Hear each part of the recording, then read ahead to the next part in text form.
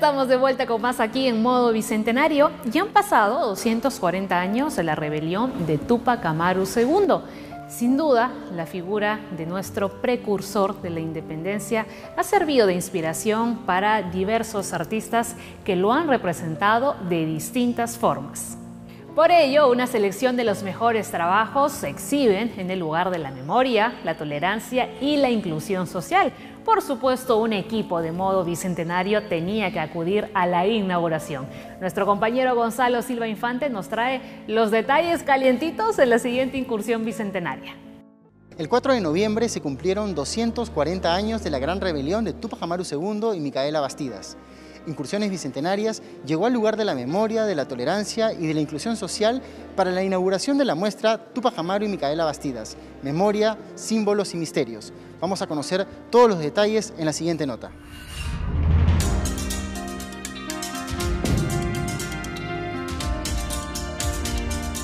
Y me da mucho gusto además que con esta se esté reabriendo eh, y que esté abriendo nuevamente sus puertas el LUM el hecho de que a partir de la próxima semana, a partir del 12, exactamente la gente pueda venir a este espacio de memoria es, creo, fundamental. Creo que era necesario que reabra sus puertas y que lo haga con una muestra de este tipo en esta sala, Mano Angélica, con la Chalina de Esperanza, con Yuyanapac, es creo bastante importante y creo que fundamental para este ejercicio que tenemos de seguir construyendo ciudadanía, de mantener viva nuestra cultura y de hacer que entremos al Bicentenario con una, con una nueva esperanza de construir el país que soñamos.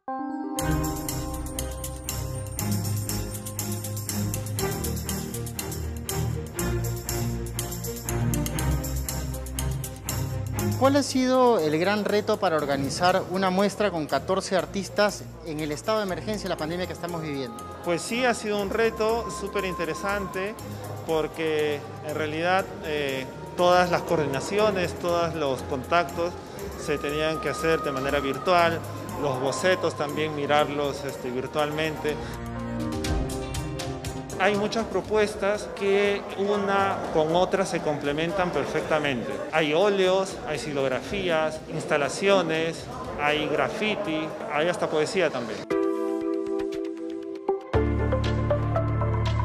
¿Por qué es tan importante hablar de Tupac Amaru y Micaela Bastidas en un museo con tantas representaciones a un año de nuestro bicentenario? Bueno, por eso, porque la memoria que, nos evoca es la memoria de, la lucha, por un lado, porque creo que no se puede entender los procesos históricos en un único momento. De hecho, la conmemoración del Bicentenario, nosotros de alguna manera la, la, tenemos el próximo año, pero la hemos venido conmemorando a lo largo de varias efemérides este año. En nuestro caso se irá además hasta el 24 con Ayacucho, pero creo que es eh, imposible hablar de la independencia o del proceso emancipador sin la lucha de Tupac Amaru, que es básicamente el inicio de esta, de esta toma de conciencia por parte de los peruanos y peruanas de la necesidad de, liberarse, de ser más libres.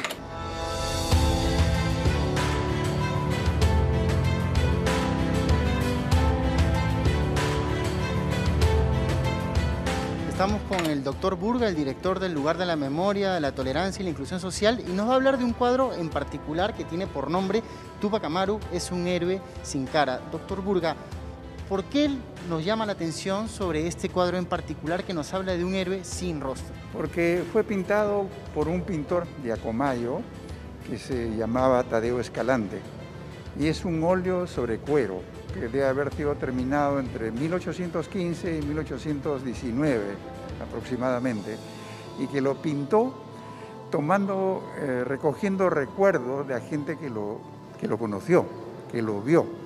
Y se refiere aquí a la única victoria importante, la victoria de Sangarará hay una, muestra o una de las, de las instalaciones es una Micaela Bastida sin rostro, que es solo su, pelo, ¿no? ¿Qué nos dice también esto de las representaciones que se hacían en la época, de la importancia del hombre y no tanto de la mujer que hoy en día tratamos de rescatar? Probablemente el eh, que no esté en Micaela ha dependido más de los tiempos posteriores, del siglo XIX y del siglo XX, que del mismo siglo XVIII, porque en el siglo XVIII ella tuvo un protagonismo así como tuvo la, la, cacica de, Acomayo y la, mujer de, de. Es decir, tuvieron una presencia y tuvieron una acción eh, mancomunada con los esposos que no se ve en el siglo XIX y que no se ve en el siglo XX. Entonces, lo que ellas han desaparecido porque vino el siglo XIX y vino el siglo XX. Y ahora, como viene un siglo XXI diferente, donde se rescata a la mujer, ha reaparecido en las condiciones en que vivieron y actuaron en el siglo XVIII, en 1780-83. Tupac Amaru y Micaela Bastidas son dos figuras que debemos recordar también en nuestro bicentenario. Si bien nosotros eh, logramos la independencia en 1821, ya 40 años atrás hubo peruanos que se levantaron contra la injusticia y eh, hecho que además trajo eh, mucha violencia y mucha tristeza para el pueblo. Hubo más de 100.000 muertos en ese entonces para una población de un poco más de un millón.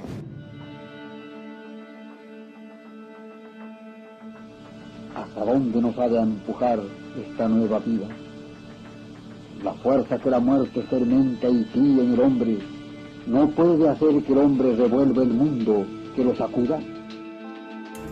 ¿Por qué es tan importante tener esa muestra acá, en el lugar de la memoria? Es importante porque es un antecedente de la independencia de 1821 y en tanto antecedente la historiografía peruana lo ha rescatado como tal. ¿no? En segundo lugar, es importante porque es una lucha por la justicia, una lucha por, la, por el buen gobierno. Esos son los elementos eh, fundamentales que después, en tercer lugar, rescatan la independencia. ¿Qué implica para la ciudadanía poder salir, tomar los espacios públicos y encontrarse con este tipo de, muestras? No, es fundamental. Es algo que, comentábamos eh, ahora con Manuel Burga, con el director del LUM, porque creo que la posibilidad de abrir esto y con una muestra tan potente como esta es fundamental. Nosotros desde el 15 de octubre en realidad hemos estado abriendo los museos, los sitios arqueológicos, diferentes espacios que se ponen a servicio de la ciudadanía para que se reencuentren con la cultura. La cultura está viva en, nuestro país. Nuestros músicos, artesanos, artistas han continuado produciendo. Nosotros en el Ministerio de Cultura eh, estamos tratando de apoyarlos con apoyos económicos, subsidios, pero es fundamental que los ciudadanos puedan reencontrarse también con esos espacios de cultura, con esos espacios que nos hacen en buena medida también despertar, creo, no solamente recuperando la memoria, sino sobre todo buscando esos ánimos que tanto necesitamos para luchar en todas las cosas que tenemos eh, pendientes, digamos, como, país, luchar contra la pandemia ahora y luchar por ese, por ese país que, como decía, es el país que queremos construir, el país que soñamos. Y siguiendo con este tema de la rebelión de Tupac Amaru II, también quisimos conversar con el historiador Charles Walker, quien desde los Estados Unidos nos concedió esta entrevista. Charles, muchísimas gracias por estar en modo bicentenario. De verdad que esta es una entrevista súper importante porque quizás mucha gente desconoce que Tupac Amaru era una persona que tenía una posición privilegiada, pero aún así decidió sublevarse frente a los abusos de la corona española. Muchas gracias, en primer lugar, por la invitación. Eh, Ero Curaca es el representante del mundo indígena y los españoles. Tenía cierto poder económico, era mulero, como decía en ese entonces, llevaba productos cusqueños en mulas a Jujuy y Salta, ¿no? Era toda una red de negocios se movía muy bien entre quechua y castellano, o sea, era un hombre en realidad eh, hecho para hacer una revolución, en el sentido que tiene vínculos con sectores populares, con runas, se sentía muy cómodo, se sentía indígena, pero a la vez hablaba un excelente castellano, eh, se codeaba con las clases altas cusqueñas, que eran bilingües, quechua y castellano, y en Lima sentía que merecía los mayores respetos. ¿Y por qué decidió entonces iniciar esta rebelión? Era de alguna forma, como siempre, algunas frustraciones personales eh, derrotas en la corte, frustraciones con el sistema, pero era más que nada vio un mundo muy injusto que no iba a cambiar. Ya se hartó de, por ejemplo, mandar a sus indígenas en la mitad a trabajar en, en condiciones brutales en Potosí, se hartó de pagar, eh, cobrar impuestos a gente tan pobre para el, virrey que todo, todo, el dinero iba a Lima. Así que por una serie de factores, una visión suya y tal vez de Mequera Bastidas que podían cambiar el mundo, los llevó a, levantarse. Este levantamiento en realidad duró pocos meses, ¿no? En la primera fase de noviembre este, comenzó hasta el 18 de mayo, pero es muy importante recordar que hubo una segunda fase con su primo, un hijo suyo y un pariente Miquela, que sí se extendió por casi dos años más llegó al sur, eh, en la zona de Titicaca, eh, negoció con los cateristas en lo que hoy es Bolivia, así que duró eh, más que esta primera fase. Siempre nos centramos mucho en la figura de Tupac Amaru y como que dejamos un poco de lado eh, la figura tan importante de su esposa y la presencia de su esposa también en todo este proceso. Micaela Bastidas es fundamental, tiene una visión estratégica brillante y se encargaba de la logística, asegurar que había comida, balas, municiones, asegurar este, que había espías para ver qué pasaba en Cusco, para controlar la disciplina. Ella se, quedaba en su zona de Tungazuca, también se movía con tinta, papamarca, sorimana y otros lugares, pero con un papel muy, muy, muy importante. Y era respetada por los demás, porque claro, en esa época, digamos, que había una cultura bastante machista, pues, Claro, no era respetada, temida y, y muchos se burlaban de ella. Se burlaban de ese aspecto supuestamente masculino porque ella tomaba decisiones, algunos decían que llevaba balas en sus trenzas, este, hubo un respeto, pero también enfrentaba a todos los estereotipos y la manera de ver una, una mujer, pero muchos decían eh, que era más fuerte que Tupac Amaru, que tenía mejor visión.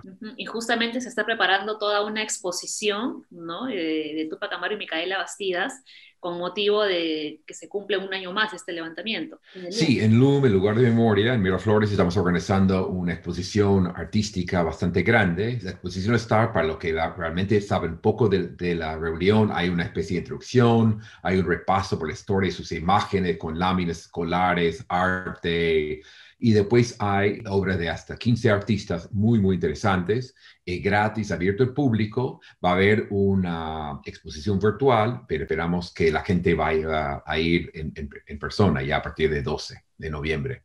Perfecto, muchísimas gracias por la entrevista. Recuerden que esta muestra se inaugura para el público en general este jueves 12 de noviembre, previa inscripción. No dejen de venir para conocer las distintas formas en las que 14 artistas han representado a estos grandes precursores. Nos vemos en una próxima incursión bicentenaria.